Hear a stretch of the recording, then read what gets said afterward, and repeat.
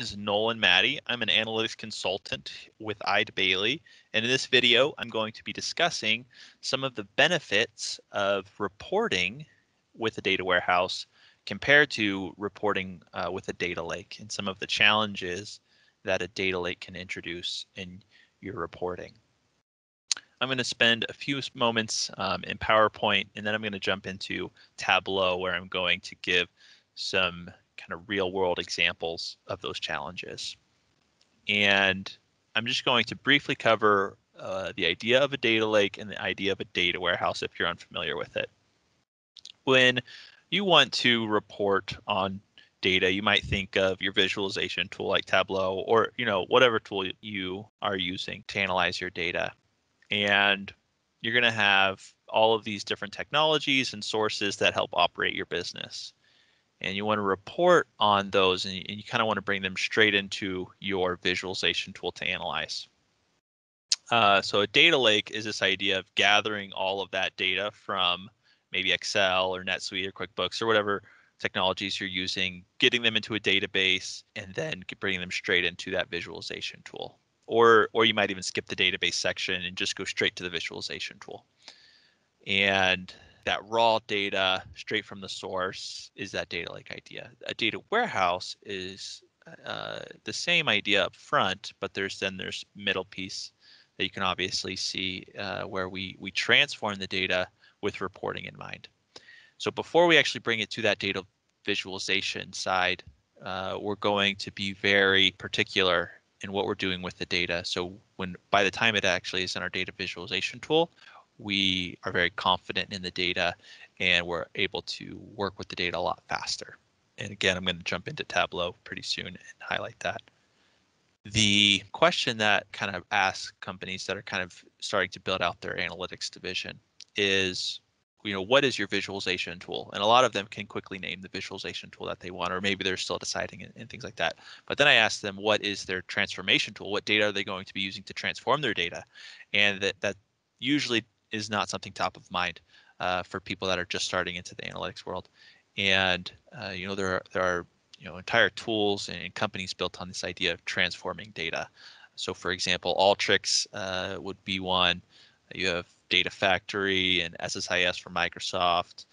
Uh, there, there's tons. Um, Amazon, of course, and, and all these different tech companies offer these tools specifically to transform your data, so that way it's it's ready for that um, so, so just be aware of that when when you're thinking about reporting and, creating a data warehouse is that that tool you use to transform your data.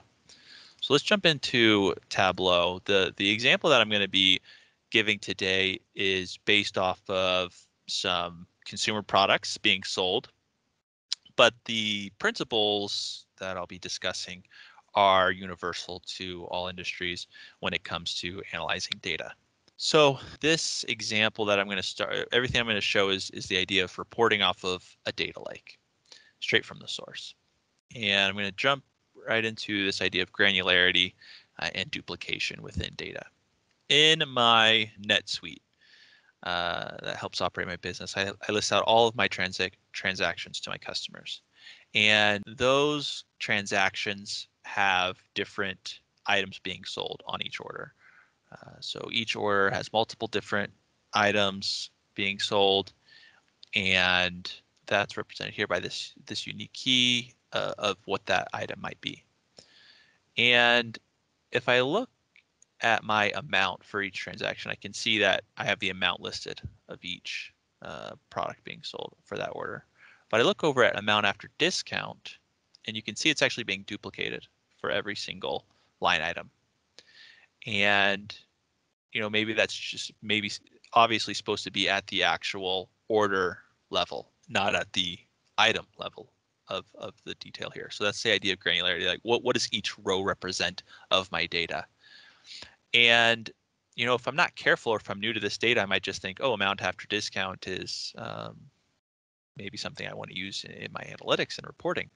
Uh, but you can see as at an aggregated level, I'm getting a lot different numbers. You know, 18 million uh, for my total amount. But then when I look at amount after discount, I'm getting 46 million, which intuitively obviously doesn't make any sense. And that's because this idea of duplication, my amount after discount is actually at the order level, but it's being duplicated for every single line item happening. And you know that can happen across all, all kinds of different things based on the granularity of your data and the you know the raw source when they're using the data they're not thinking of it in terms of analyzing the data they're they're using it to operate the business and things so so they don't have that uh, necessarily in mind. Uh, another idea is this uh, bill address. Uh, this bill address if i actually look at the source is being duplicated every single time uh, in the data. Um, and maybe I'll, jump to that really quickly. Um, if we go to my transactions data if I see this bill address here, it's being duplicated every single time there's an item listed on an order. And what that causes is a lot of inefficiencies. Uh, it's going to eat up my memory. It's going to eat up my uh, processing power of my data. And that inefficiencies are going to just make my reports run slower. It's going to maybe limit how much data I can bring in. And if I want my bill address, I kind of have to make that choice it, it, when using the data sources. I either don't get to use it in my reporting, uh, or I need to figure out a way not to duplicate it so I don't eat up as much memory and processing. I'll talk about how data warehouse and Tableau work together to overcome that issue. So, so those are kind of the uh, challenges, and later I'm going to jump into how data warehouse actually kind of overcomes these ideas of duplication and um, granularity.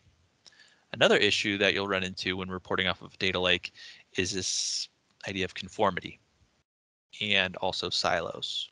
Now conformity is when two systems are being used to maybe track the same thing, but they track them differently.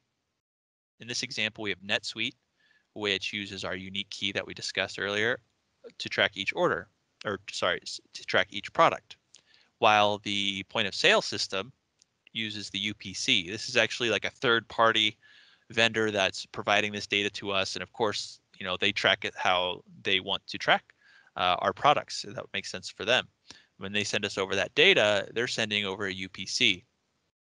And if I want to match up my products and say, hey, how how are my products selling to the to customers, but then how are they actually going to sell at the point of sale? It's going to be impossible for me to to make that analysis with the provided um, sources straight from the data lake. I'm going to need to take some effort into creating some type of mapping or understanding of how the UPC and the unique key relate um, to a product, and then I can actually analyze and say this is how a product's doing at both points of the process. Uh, silos as well are, are, the same idea. You know, if I'm someone that is trying to get some answers and analyze some data, and I'm just particular with NetSuite, then I may ignore the point of sale system data, or maybe I don't have access to the point of sale system data. It's hard for me to get to that data, but NetSuite's really easy. Or maybe I also have QuickBooks. I'm an accountant. I, I really uh, only live in QuickBooks. And when I'm trying to analyze the business and understand what's happening and answer these um, important questions in making decisions, I'm only going to have a, a narrow view of the data. I don't get the whole picture because I only get one chunk of the data or it's just too hard to relate to the other pieces. So I, I live in this silo. Uh, when making decisions, I only base it off of certain things. And the benefit of a data warehouse will be that we can bring all of those pieces together and look at them holistically. Let's uh, jump into some examples of the data warehouse side. What I'm going to show first is the actual data. Now again, let me jump back to that slide. The data is going to the data lake. I'm transforming that data. So for that example of the uh, NetSuite data and the point of sale system data, I'm taking this time to map the UPC and the unique key together so that way they represent the same product. And then when I say I want product A, it doesn't matter if I have the unique key or the UPC because I have those mapped together. I have it transformed to work properly. Um, so, so what that really looks like is my fact spins, or, or, that's kind of that third-party vendor that's providing me my point of sale system. Uh, the the product data is mapped directly to that spin data. And if I jump over to my uh, invoice data, I have that same product table and it's mapped right to my invoice data. What that looks like on the report side is I have my product name, I have my invoice total, and I have my POS system total. And um, getting that on the same row before would have been, you know, next to impossible. Um, but now with that work ahead of time, it's really simple. And you can see here, I have the point of sale system data um, in my report. And if I look here under the DIM product, it has that link right on the product name. And now I'm really quickly able to get that comparison, that analysis. The other idea is the granularity and duplication issue. Because data lives on different grains, when I have my, again, transaction NetSuite data here, my bill address is being duplicated. But in my data warehouse side, you can see here, I actually have an address table and it lists each address once, doesn't have to duplicate it. And when I want to relate that to my other pieces of my data, I just have to bring that ID and create that relationship on the ID that I set up ahead of time. And now that ID will be identifying each product, each order, uh, instead of the actual address, which is going to eat up more memory. The idea that you can separate these into their own grains and maintain the actual integrity of the structure of the data that you're working with is is quite novel. Um, Tableau does it does it really well. It's actually one of their newer updates. Um, kind of came out middle of 2020, and uh, you know there's not many tools in the market that do that. Um, but it but it's really crucial when reporting and trying to prevent that duplication and uh, having that granularity that you need. So all in all, the benefits of reporting with a data warehouse is that you're going to have more accurate data because you're going to be able to clean up the, the data before it actually gets into the visualization tool. You're going to get better processing. You're going to get better memory consumption uh, because you're avoiding this duplication you're going to get faster results because the data that that you work with um, doesn't have to be manipulated to to work. It's already done. So when you're in the visualization tool, you're ready to go.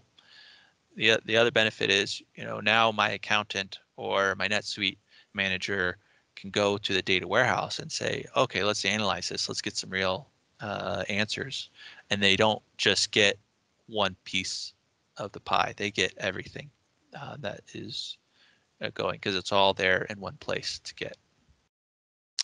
I uh, hope this helps in, in understanding the, the benefits of reporting with a data warehouse and the challenges that you just need to be aware of when reporting off of a data lake.